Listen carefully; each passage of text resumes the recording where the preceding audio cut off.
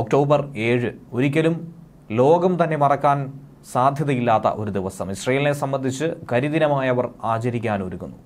അതിനോട് മുന്നോടിയായി ഗാസയിൽ ഇസ്രയേൽ ആക്രമണം കടുപ്പിച്ചുകൊണ്ടിരിക്കുന്നു പലസ്തീനിലെ പള്ളികളെയും സ്കൂളുകളെയും ഒക്കെ തന്നെ ലക്ഷ്യം വെച്ചുകൊണ്ടാണ് ഇസ്രയേൽ ഇപ്പോൾ ആക്രമണം നടത്തുന്നത്. ഇതിനെ ശക്തമായി പലസ്തീൻ ആരോഗ്യ മന്ത്രാലയം അപലപിക്കുമ്പോഴും അതിൽ ഇസ്രയേൽ കണ്ടെത്തുന്ന വാദം അവിടെ ഭീകരരുടെ ഒളിത്താവളമാണ് ഒളി സങ്കേതമാണ് അതിനെ തകർക്കാനാണ് നിലവിൽ ശ്രമിച്ചുകൊണ്ടിരിക്കുന്നത്.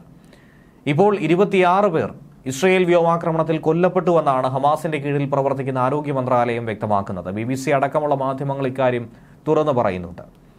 ലെബനിലെ ഏറ്റവും ഭീകരരാത്രി എന്നുള്ള റിപ്പോർട്ട് മറുഭാഗത്തു നിന്നും മറുതലയ്ക്കിൽ നിന്നും ലഭിക്കുകയാണ്. ഒരേ സമയമാണ് ഗാസയിലേക്കും ലെബനിലേക്കും ഇറാനിലേക്കും ഒക്കെ തന്നെ ആക്രമണം നടത്താൻ ഇസ്രയേൽ പദ്ധതിയിട്ടുകൊണ്ടിരിക്കുന്നത്. മുപ്പതിലധികം വ്യോമാക്രമണങ്ങളാണ് കഴിഞ്ഞ രാത്രിയിൽ ബെയ്റൂട്ടിന് നേരെ ഇസ്രയേൽ നടത്തിയിട്ടുള്ളത്.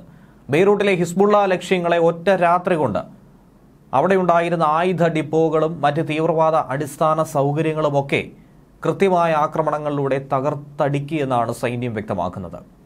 രാത്രിയിൽ ജനങ്ങൾ പറയുന്നത് വലിയ പൊട്ടിത്തെറികളും പുകപടലങ്ങളും പ്രകാശപൂരിതവുമായിരുന്നു ബെയ്റൂട്ടിലെ ആകാശമെന്നാണ് പറയുന്നത്. തെക്കൻ ലെബനിൽ ഇസ്രായേൽ സൈന്യം അധിനിവേശം ആരംഭിച്ച് നാനൂറ്റി നാൽപ്പതോളം ഹിസ്ബുള്ള തീവ്രവാദികളെയാണ് വകവരുത്തിയതായി പറയുന്നത് അവർ. രാത്രിയിൽ ആക്രമണം അഴിച്ചുവിട്ട് ശക്തമായി പോരാടുകയാണ്. ലബനിലെ അന്താരാഷ്ട്ര വിമാനത്താവളത്തിലേക്കുള്ള റോഡിന് സമീപം ഒരു കെട്ടിടത്തെയും ഹിസ്ബുള്ളയുടെ നേതൃത്വത്തിലുള്ള ബ്രോഡ്കാസ്റ്റർ ആയിട്ടുള്ള അൽമനാർ ഉപയോഗിച്ചിരുന്ന മറ്റൊരു കെട്ടിടത്തെയും ഒക്കെ ലക്ഷ്യമിട്ട് ഈ ആക്രമണം കടുപ്പിച്ചു ലബനിലും ഇസ്രയേൽ ആക്രമണം കടുപ്പിക്കുന്ന സാഹചര്യത്തിൽ ഇനി എന്താണ് മാർഗമെന്നുള്ളതാണ് ഇറാൻ ആലോചിച്ചുകൊണ്ടിരിക്കുന്നത് മറുതലയ്ക്കൽ. ഇസ്രയേൽ ആക്രമണം ശക്തമാക്കി മാറിയതോടെ ലെബനിലെ ആശുപത്രികളൊക്കെ അടച്ചുപൂട്ടുന്നുവെന്ന റിപ്പോർട്ടുകളും റോയിറ്റേഴ്സ് അടക്കം പങ്കുവയ്ക്കുന്നു. തെക്കൻ ലെബനിലെ ഒരു ആശുപത്രിയുടെ ഗേറ്റിന് പുറത്ത് ഇസ്രയേൽ ആക്രമണം നടത്തിയതിൽ ഏഴോളം പാരാമെഡിക്കൽ ജീവനക്കാർ കൊല ചെയ്യപ്പെട്ടു എന്നുള്ള വിവരമാണ് പുറത്തു വരുന്നത് ആശുപത്രിക്കും സാരമായ കേടുപാടുകൾ സംഭവിച്ചിട്ടുണ്ട്. അങ്ങനെ ആശുപത്രി അടച്ചുപൂട്ടേണ്ട ഗതികേടിലേക്ക് വന്നിരിക്കുന്നു. എന്നാൽ ഇസ്രയേൽ പറയുന്നതനുസരിച്ച് സി- സിവിലിയന്മാർക്ക് യാതൊരു തരത്തിലുമുള്ള അപകടം ഉണ്ടാകാതിരിക്കാനുള്ള മുൻകൂർ നടപടികൾ തങ്ങൾ കൈക്കൊണ്ടിട്ടുണ്ട്.